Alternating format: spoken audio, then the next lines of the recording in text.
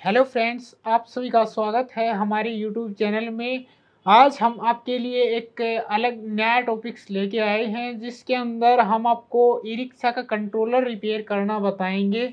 ये कुछ यूनिक सा कंट्रोलर हमें जो है एक स्टूडेंट्स लेके आए थे, इसलिए हम आपके लिए जो है इस कंट्रोलर पे वीडियो बना रहे हैं, ताकि आपके पास भी अगर इस तरह का कुछ अलग यूनिक कंट्रोलर आता है तो आप उसको ईजी से ईजी से ईजी स्टेप में आप उसको रिपेयर कर पाओ। तो इसमें हम अगर देखते हैं तो काफ़ी सारी मोसफेट बिल्कुल जो है हमें डैमेज कंडीशन में जो है दिख रही हैं। तो सबसे पहले तो हमें जो है मोसफेट निकालनी, निकाल के इनको जो है चेंज करना पड़ेगा। फिर इनका जो ड्राइवर सेक्शन है वो जो है दूसरे कंट्रोलर में, जो इसकी जो दूसरी पीसीबी है इस कंट्रोलर की, इसमें दिया गया है। तो हम उसमें कैसे पहचानेंगे कि कौन सी मोसफेट के लिए जो है, कौन सा जो है ड्राइवर सेक्शन इसके अंदर बना हुआ है? उस ड्राइवर सेक्शन को हमें पहचानना होगा और उसको जो है रिपेयर करना करने का जो है इजी से इजी स्टेप आपको बताएँगे, जिससे हम जल्दी से जल्दी इसका जो है ड्राइवर सेक्शन रिपेयर कर पाएँ। तो इसके लिए सबसे पहले तो हम इसकी जो है मोसफेट चेंज करेंगे और तो देखते हैं हम मोसफेट इसकी जो है एस एम डी मोसफेट लगी हुई हैं। उनकी जगह भी आज हम आपको जो है सोलिड टाइप की मोसफेट इसमें यूज़ करेंगे। तो अगर आपके पास ऐसा कंट्रोलर आता है जिसमें एस एम डी मोसफेट लगी हुई है और आपके पास एस एम डी मोसफेट नहीं है तो भी आप उसको जो है रिपेयर कर पाओ सॉलिड मोसफेट के द्वारा तो वो सब भी इसमें देखने को आपको मिलेगा। तो चलिए फ्रेंड्स अब इसमें हम देखते हैं और इसकी मोसफेट सबसे पहले निकालते हैं जो हमें जो है फोल्टी या जो है सीधी सीधी जो है फटी हमें दिख रही है। तो देखिए फ्रेंड्स हम अब जो है इसके पहले तो ये वायर्स जो है हम इससे अलग कर लेते हैं ताकि हमें काम करने में जो है आसानी रहे।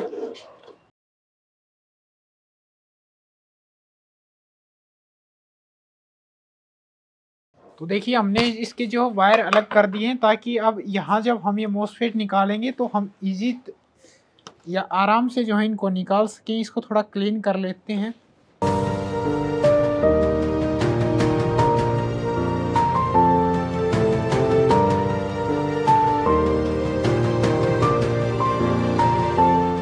अब जो है इस पर पे पेस्ट लगाएँगे हम और पेस्ट लगा के जो है इन मोसफेट को जो है निकालेंगे।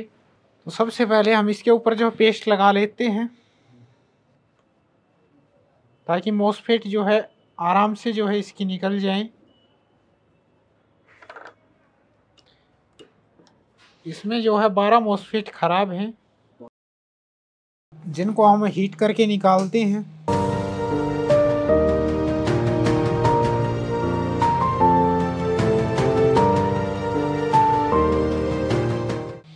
देखिएगा, इन पे इतना कार्बन है कि इनको निकालने में भी जो है थोड़ा टाइम लगेगा हीट होने में।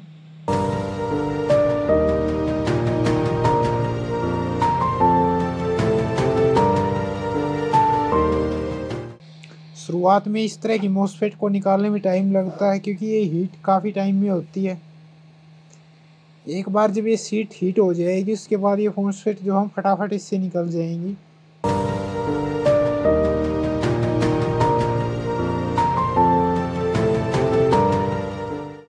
तो देखिए अब हम जो है एसएमडी मशीन यूज़ किए, लेकिन एसएमडी मशीन जो इन मोसफेट को हीट नहीं कर पाई तो हम अब आयरन की सहायता से इनको निकालने की कोशिश करते हैं, ताकि ये मोसफेट थोड़ी जल्दी जो है हीट हो जाएँ और निकल जाएँ।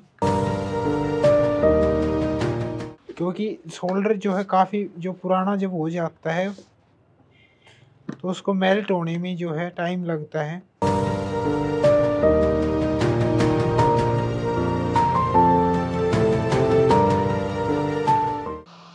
अभी देखिए मोसफेट हमारी जो है निकल रही है।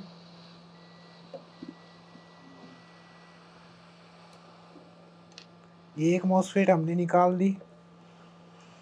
अभी ऐसे ही जो दूसरी मोसफेट निकालते हैं। हमें आयरन और एसएमडी दोनों की हेल्प के द्वारा जो है निकालनी पड़ रही है, क्योंकि जो है बहुत ज़्यादा कार्बन है इस बोर्ड के अंदर।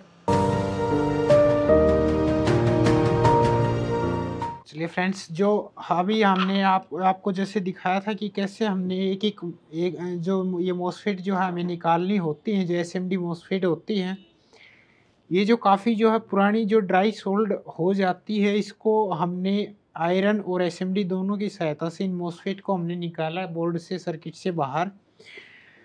वीडियो ज़्यादा लंबी ना हो, इसलिए हमने उनको जो है जल्दी जल्दी अभी निकाल लिया है। अब हम जो है इस पे देखिए, जो ऐसी सोलिड टाइप जो मोसफेट हैं, उनको जो है इन पे जो है इस तरह से कटिंग करके इनको जो है यूज़ करेंगे। जैसे कि हम इसकी जो बीच वाली लेग है, इसको कट कर देंगे इस प्रकार से। और जो इसकी जो दो लेग हैं, इनको हम इस प्रकार से जो है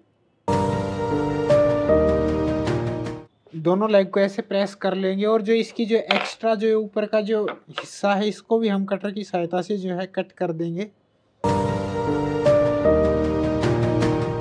और इस तरह से हमारे पास जो है अभी फ़िलहाल एस एम डी मोसफेट नहीं है तो हम ऐसे जो है एस एम डी मोसफेट की तरह इसको जो है डिज़ाइन कर सकते हैं। आप देखिए, जैसे अगर हम यहाँ रख, रखते हैं इसको तो देखिए, बिल्कुल जो है अच्छे से जो है एडजस्ट हो रही है इसकी जगह। अब एक मोसफेट आपको लगा के दिखाते हैं कि कैसे आपको जो है ये मोसफेट लगानी है। उसके बाद हम इसको जो है जल्दी जल्दी लगा देंगे। तो लगाने से पहले हमें जो है क्या करना है? जो सोल्डरिंग पेस्ट है, वो इसके ट्रैक पे जो है हमें लगा देनी है। ताकि जो है आराम से इजीली जो है गर्म हो जाए। मेल्ट हो जाए ये सोल्डर और उससे पहले अगर चाहो तो आप इस इस जो मोसफेट का जो ये बैक साइड का जो हिस्सा है, इसको भी आप जो है एक बार आयरन की सहायता से जो है सोल्डर लगा सकते हो इसके ऊपर। इस प्रकार से ताकि ये जो है चिपकने में जो है आसानी रहेगी। अगर हम आपको दिखाएँ तो इस प्रकार से आप जो है पहले इसको भी जो है एक बार सोल्ड कर सकते हो।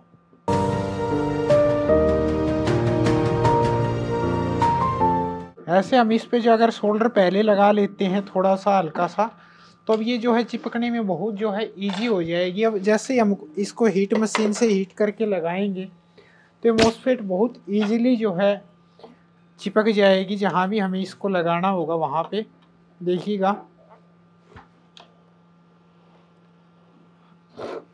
हम जैसे यहाँ पे देखिए इसको मेल्ट करते हैं प्रिंट को थोड़ा। और फिर इसको जो है मोसफेट को यहाँ चिपका देंगे।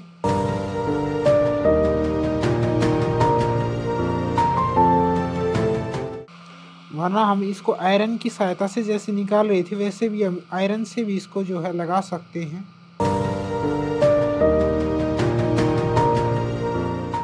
तो देखिए, ये शोल्डर पूरा जो है मेल्ट हो गया है।